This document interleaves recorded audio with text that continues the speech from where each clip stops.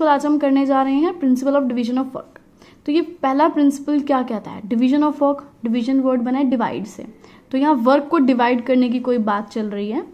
तो ये प्रिंसिपल क्या कहता है? कि डिवाइड करो वर्क को. कैसे? जो भी आपका होल वर्क है मतलब पूरा काम है, उसको छोटे छोटे यूनिट्स में डिवाइड कर दो. ठीक है?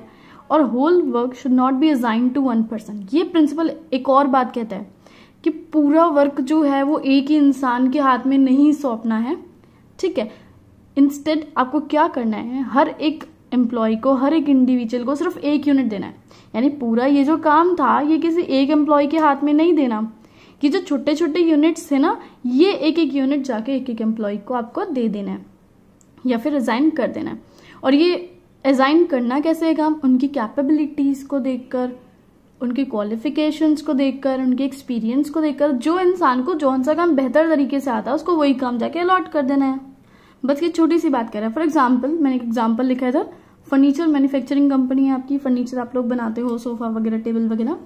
तो ये इसमें बहुत सारा काम होता है। ठीक है फर्नीचर बनाने का। तो देखो फॉर एग्ज़ाम्पल यहाँ पे एक एम्प्लॉय है, वो वुड बहुत अच्छे से कट करता है। तो उसको बोला कि तुम सारा काम जो है वुड काटने का तुम संभाल लो।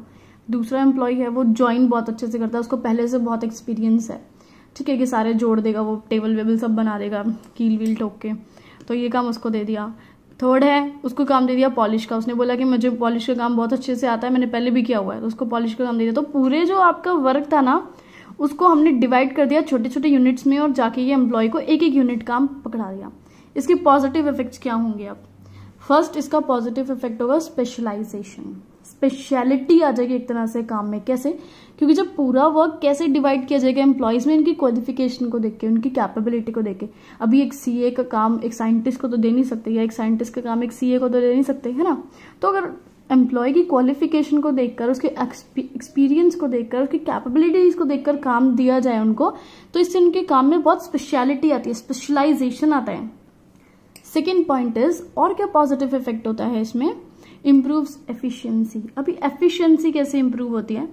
अगर if one employ perform one type of job again and again he will become expert अगर एक एम्प्लॉय बार बार एक ही जॉब को करेगा तो क्या होगा? वो एक्सपर्ट हो जाएगा उस काम में। अगर आप देखिए, आप है किसी भी चैप्टर को या कोई भी टॉपिक है बार बार उसे रीड करते रहे बार बार उसे लर्न करते रहे तो होता है ना, आपको भी वो बहुत अच्छे से लर्न हो जाता है। तो जब एक एम्प्लॉय किसी एक काम को बार बार बार बार परफॉर्म करता है तो वो भी एक्सपर्ट हो जाता है उस काम में। अभी इस प्रिंसिपल में क्या है consequences of valuation of this principle अगर हम इस प्रिंसिपल को फॉलो नहीं करते हैं तो उसके क्या कंसिक्वेंसेज हो सकते हैं?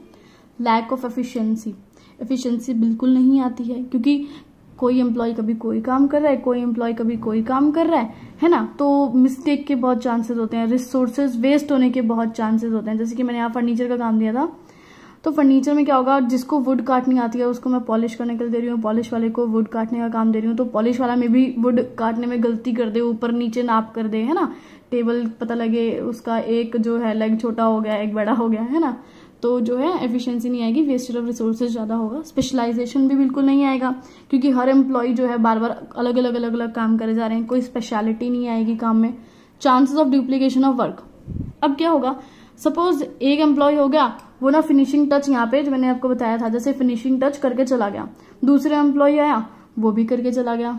फिर ये एम्प्लॉय आया, ये भी करके चला गया। सोचा कि ये काम करने में मेहनत है, चल मैं ये कर देता हूँ। इसने भी सोचा, इतनी मेहनत कौन लगाए, मैं ये काम कर देता हूँ। है ना? तो दो लोगों ने ये काम परफॉर्म कर दिया बट था सिर्फ़ इसका। तो अगर हम ये वाला प्रिंसिपल यूज़ नहीं करेंगे तो क्या होगा? चांसेस होंगे कि वर्क जो है वो रिपीट हो सकता है।